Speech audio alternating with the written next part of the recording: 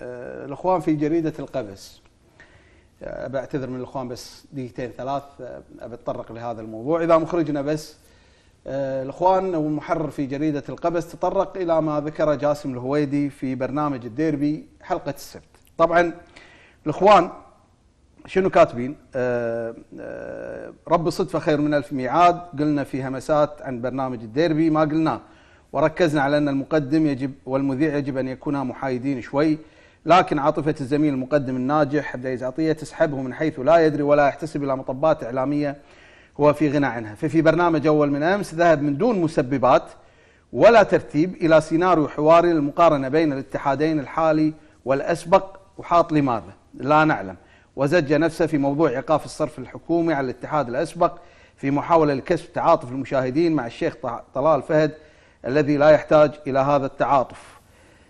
أه عموما متكلم أه أه إلى آخر الحديث، أنا برد على يعني نقاط رئيسية حتى المشاهد أيضا يكون بالصورة. أول أول نقطة أنا أشكر الأخ المحرر في جريدة القبس حرصه الدائم على يعني متابعة برنامج الديربي والتطرق إلى ما يطرح في برنامج الديربي ويعلق دائما على ما يطرح في برنامج الديربي وهذا يشعرنا بالفخر أن الإخوان في جريدة القبس يعني متابعين ومهتمين ما يطرح في هذا البرنامج. النقطة الثانية أنا ما أدري الأخ المحرر يعني هل هو يتابع البرنامج؟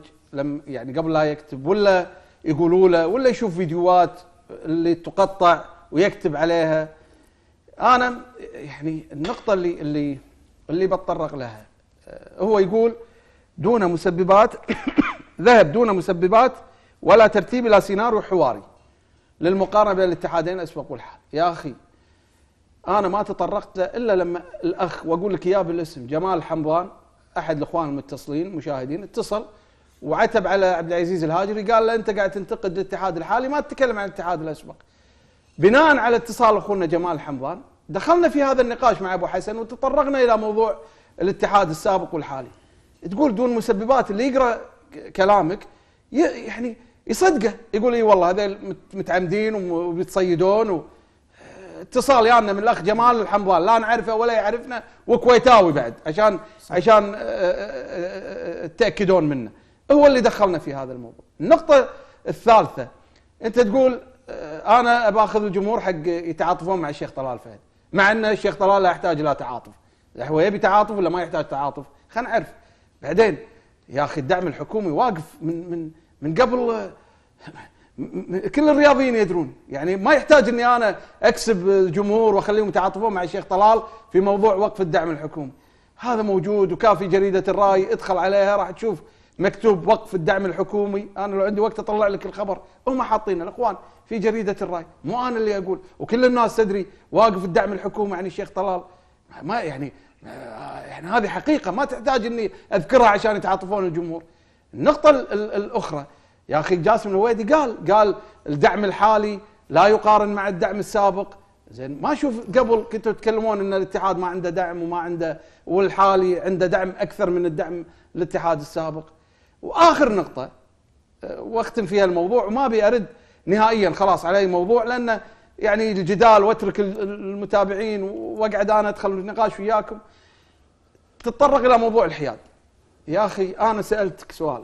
أنت محايد أنت كصحفي في جريدة القبس والصفحة الرياضية في جريدة القبس هل هي محايدة أم غير محايدة؟ هذا سؤالي لك. أنا بالنسبة لي أنا كعامل في المجال الإعلامي ما أقول إعلامي عامل في المجال الإعلامي عندي قناعة إن الرجل اللي يعمل في الإعلام عنده رسالة يوصلها. عاد إذا كان محايد شلون يبي يوصل هالرساله ما يصير. لازم لازم ما يكون محايد عشان يوصل رساله يوصل الحقيقة. عاد تفرق في إعلامي يمشي على هوى الصحيفة اللي هو فيها يمشي على هوى القناة اللي هو فيها يمشي على هوى الملاك يمشي على على مبادئه هو. أنا الحمد لله هني في قناة الاي تي في أمشي على السياسة اللي أنا متبعها. الإخوان في قناة الاي تي في وأخوي أحمد الفضلي مشكورين وأنتم كلكم والإخوان في جريدة القبس تقدرون يا أخوي المحرر تسأل عن جاسم مشكناني هو طلع هني. أكثر من مرة. هل هل مشوه على سياسة يبونها جري... قناة الاي تي في؟ خليه يجاوب العم أبو حمود يجاوب على على سؤالي هذا. إحنا الحمد لله في قناة الاي تي في مفتوح وكان حضورنا موجود. اللي بيتكلم يتكلم ما دام بالرياضة ما نطلع برا الرياضة اخذوا راحتكم. اللي بيتكلم ويقول رأيه ويقول سياسته ويقول وجهة نظره.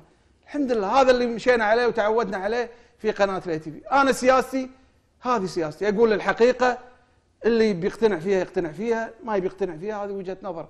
ما يصير إذا أنت ما تقتنع في الرأي اللي أنا أقوله أو السياسة اللي أنا بمشي عليها أو وجهة النظر اللي أنا بطرحها حق المشاهد لأنها ما تعجبك تصير أنا مو محايد. ما يصير. أنا هذا رأيي وهذه وجهة نظري. ومشكور.